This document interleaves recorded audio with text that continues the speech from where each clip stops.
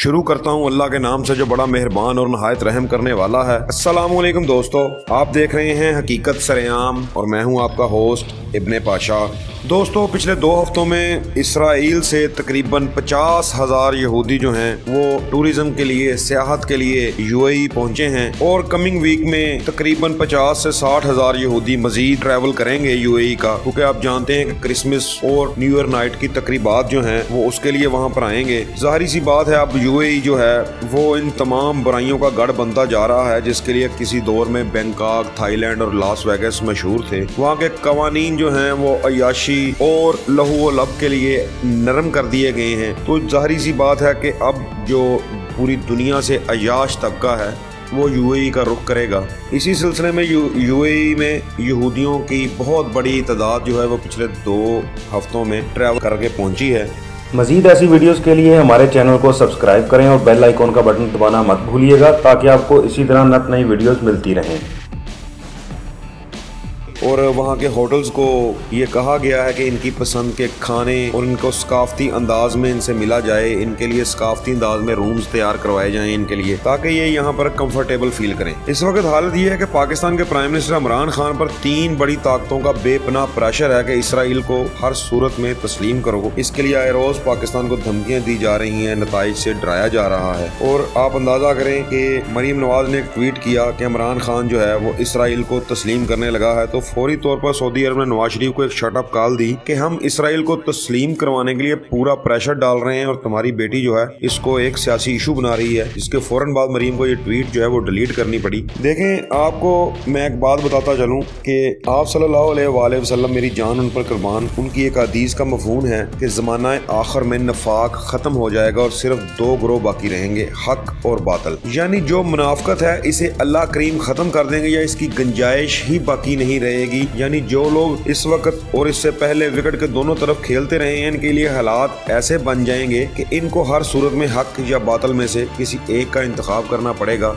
और चेहरे से नकाब उतारना पड़ेगी। इस तरह मुनाफ्त खत्म हो जाएगी और सिर्फ़ हक और बातल ही बाकी बचेगा और बेशक हक ही गालब आने वाला है। और इस वक्त आपको दुनिया की जो सूरत नज़र आ रही है, वो बिल्कुल वही है जो आप सल्लल्लाहु अलैहि वसल्लम की हदीस के एन मुताबिक है कि चेहरों से नकाब उतर रहे हैं। आप देखें, ये वही अरब हैं जो कितने साल तक इस चीज़ को इशू बनाते रहे इसराइल फ़लस्तीन के नाम पर मुसलमानों को धोखा देते रहे और आज उन्हीं फ़लस्तीनी भाइयों के खून का सौदा जो है, उन्होंने सिर्फ़ दौलत और ताकत के लिए यहूदियों के साथ कर लिया। क्यों कर लिया? जारी सी बात है, उनको पैसा चाहिए जदीद तरीन असला चाहिए, ताकत चाहिए, दुनिया में वाह वाह चाहिए, और ये चीज़ें जो हैं, इस वक्त यहूदी उन्हें दे सकते हैं और बड़े आराम से दे सकते हैं। इस सब में सऊदी अरब सबसे आगे है, क्योंकि पाकिस्तान के बहुत से स्टेट सऊदी अरब से जुड़े हुए हैं, इसलिए वो पाकिस्तान को ब्लैकमेल कर रहा है, और बहुत बेहतर पोजीशन में है पाकिस्तान को ब्लैकमेल करने की। सबसे पहले इसने अपने तीन अरब डॉलर मांगे, अचानक मांग लिए, जिसमें से दो अरब डॉलर तो पाकिस्तान ने वापस कर दिए।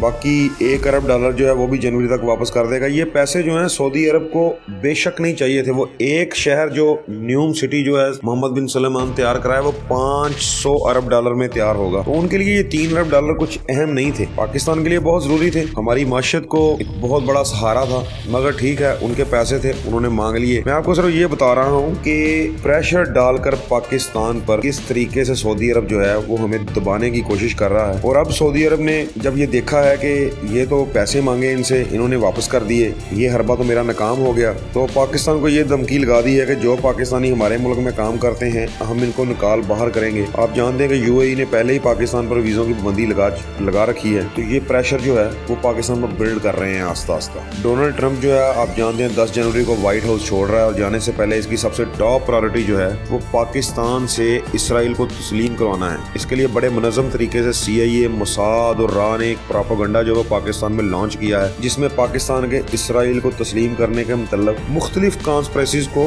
मीडिया में उछाला जा रहा है। आप देखें, आप नोट करें कि अचानक पाकिस्तानी मीडिया में इसराइल इसराइल की गूंज आपको सुननी शुरू हो गई है। इससे पहले इसराइल का नाम भी नहीं लेता था मगर अब हर दूसरे टॉक शो में इसराइल के ऊपर बात हो रही है, खुलकर बात हो रही है। बहुत सारे एंकर्स ने इसराइली जो इसराइल को सपोर्ट करते हैं, उन लोगों का इंटरव्यू भी किया अभी पिछले दिनों में मंसूर अली खान ने। एक पाकिस्तानी निजात ऐसे शख्स को का इंटरव्यू किया जो इसराइल नवाज़ था। और ठीक है, उन्होंने बड़ी छितरोल की उसकी। उसका मुँह तोड़ के रख दिया। मगर पाकिस्तान में इस चीज़ को भी हवा मिलती है इन चीज़ों के साथ कि पाकिस्तान के रहने वाले लोग जो हैं, उनमें भी शायद कोई ऐसा ग्रुप है जो इसराइल को तस्लीम करने के हक में है।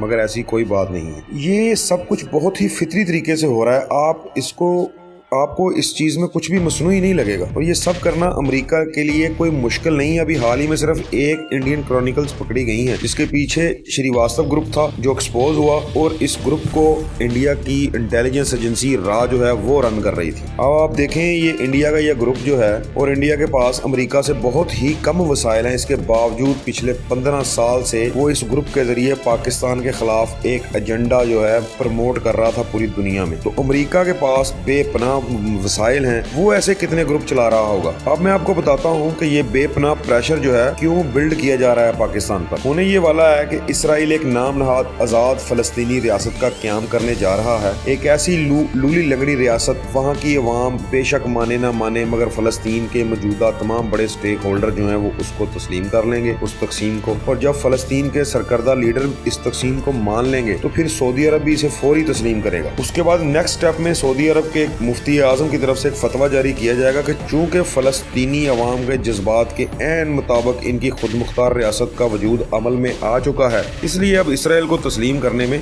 कोई कबाहत नहीं है। इस वक्त पाकिस्तान के ऊपर जो पहले ही बेतपना प्रेशर में होगा जिस पर पहले से ही बेतहाशा प्रेशर डाला गया होगा, इसके लिए इसराइल को तस्लीम ना करने का कोई भी अखलाकी और कानूनी जवाब नहीं बचेगा। ये साजिश है जो साम्राज्य ताकतें मिलकर पाकिस्तान के खिलाफ कर रही हैं। अल्लाह हम सबको इस बुरे वक्त से बचाए, अपना ख्याल रखिएगा और अपने इस चैनल का भी। अल्लाह हाफिज़।